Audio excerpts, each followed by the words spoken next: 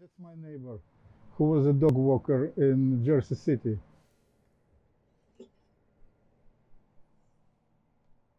Who is that depicted in the painting behind you? His name is Otis Ball, and uh, two dogs.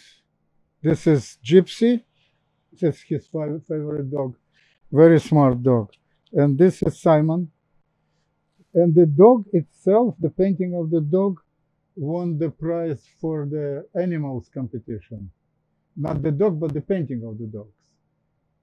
How did you come to know your neighbor?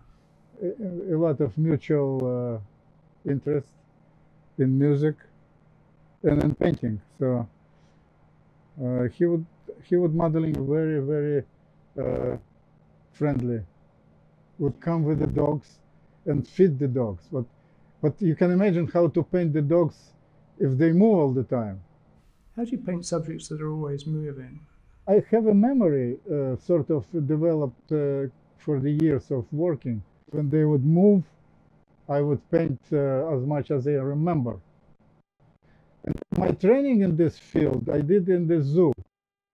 I would I would go to the zoo and uh, sitting uh, next to the cages and uh, with the with the animal like a tiger or fox. They they moving back and forth all the time. So you're doing like a drawing in in two positions, in the left position and the right position. Did it take you a very long time to train your visual memory?